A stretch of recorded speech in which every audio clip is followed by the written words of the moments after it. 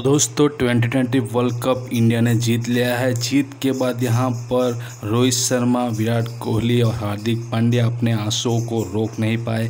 क्यों ना हो, काफ़ी इमोशनल देखने को मिले सभी खिलाड़ी और रोहित शर्मा, हार्दिक पांड्या के आँसू थमने का नाम ले ले रहे थे। लंबा इंतज़ार हुआ 11 साल का इंतज़ार आज ख़त्म हो चुका है और सारे जो हिंदुस्तानी है, उनका माथा जो है ऊपर हो चुका है और ज़बरदस्त यहाँ पर प्रदर्शन किया है। यहाँ पर टीम इंडिया ने और यहाँ से चैम्पियन बन चुके हैं रोहित शर्मा की कप्तानी में।